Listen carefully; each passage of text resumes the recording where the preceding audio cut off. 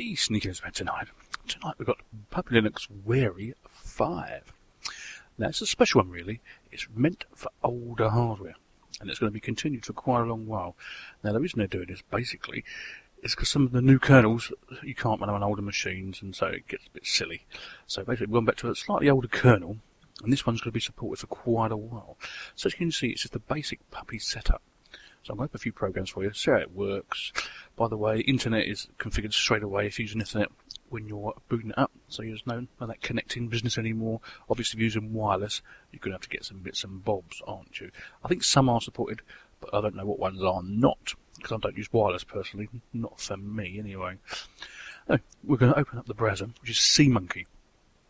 Now, people moan about SeaMonkey, but it does the job, so we'll see what version it is open it up. That's quite quick. It's 2.0.11, so that's alright. I can live with that. Can you live with that? Of course you can, it's easy peasy. It still comes up with the tabs on the wrong side and stuff like that, but I, I can put up with that anyway. Now, I've installed this, by the way.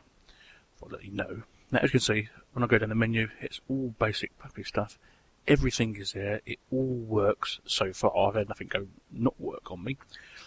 So you've got generic AbiWord for your stuff like that. You've got bcrypt as usual. You've got the address book. You can set up your firewall, which I've already done. It's a one-click jobby, no problem. You've got a advert blocker there as well. Files, eh? That got a few people talking, didn't it? And for fun, we've got some new games as well. So that's quite interesting. So yeah. And bearing in mind, it's about 128 meg download. So it's really tiny. Boots from the live CD, so you don't have to install it if you don't want to. So this is the Puppy Package Manager. As you, some of you may know it, some of you may not. And there's quite a bit in here, and this is going to be keep being updated all the time apparently, which is nice, isn't it? So we've got quite a bit in there. Not as much as some of the other pups, but remember this is a brand new one really for older machines. So if you've got an old Pentium 3, Pentium 2, even older than that even, it might be the one for you really. But obviously if you've got a newer machine, you can run Lucid if you want to, etc, etc. What I'm saying? Of course you do. It's a really short video anyway. Uh, right, what else can I show you? Okay, so go up to the top here, up to the desktop. As you can see, there's nothing changed much there really.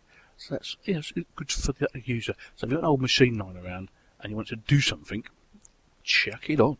Does the business. Installed on this machine in around about two and a half minutes, but bearing in mind it's not an old, old machine. So if you've got an old machine, it's going to take longer.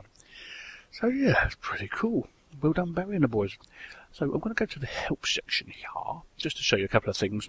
Not too long at all, this one. As you can see, announcement and release for Wary Puppy 5.0. As you can see the timeline, I've showed you this sometimes before. Now, Wary is the latest one, because uh, Puppy 5.2 is not in release yet. It's only in beta.